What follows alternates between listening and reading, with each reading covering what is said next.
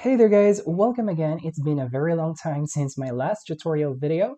So in this video, we will be talking about the mean, median, and mode, which are the measures of central tendency. Let's start with the mean.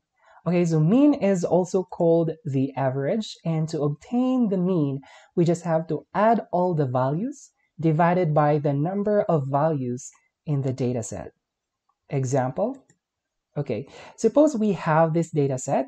Para makuha natin yung mean, pag-adin lang natin lahat ng mga values na yan, divided by 6.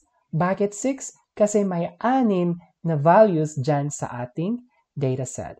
Okay, so pag-adin divided by the number of values, and doing that, we will be having an answer of 13. So yung mean or average ng dataset niyan ay 13. Okay, let's proceed to the next measure of central tendency, which is the median. Median, on the other hand, is the middle value of the data set.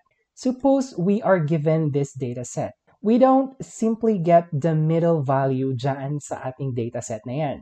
We have to arrange it first in ascending or descending order. So for me, mas gusto ko i-arrange ko na lang siya from lowest to highest. So that is in ascending order. Okay? So, after arranging it, kukunin na natin yung middle value. So, dito sa ating dataset, may dalawang middle values. And yung dalawang middle values na yun ay 12 and 13. Take note guys, dapat isa lang ang median.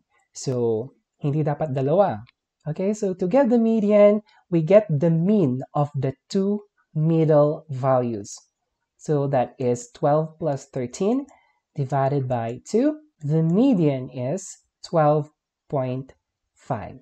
So don't forget guys to arrange the dataset before getting the middle value. Okay, then let's proceed to the last measure of central tendency, which is the mode.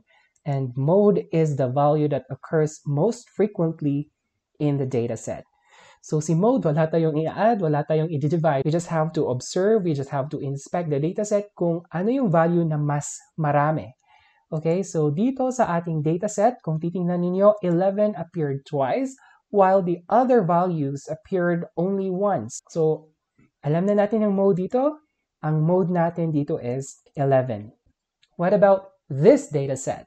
Okay, so kung titingnan natin to, 94 appeared twice, 97 appeared twice as well. Tapos, si 95 mag-isa lang. So we can actually have one or more values for the mode.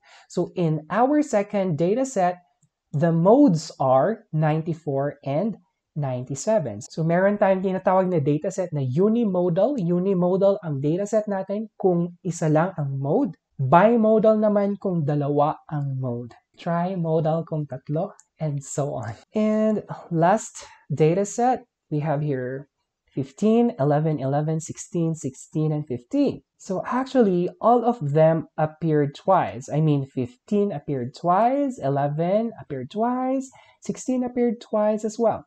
So tigda dalawa sila. So what do you think, guys? Are 15, 11, and 16 the modes of this data set? Well, actually, no. Kasi ang mode, yun yung value na mas marami. At dito sa third dataset natin, walang value na mas marami. So this dataset has no mode simply because walang mas marami kasi lahat sila tig dalawa.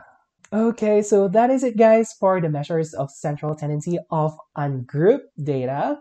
I hope you learned something and please do visit my YouTube channel and subscribe and tune in for my future videos. See you guys there.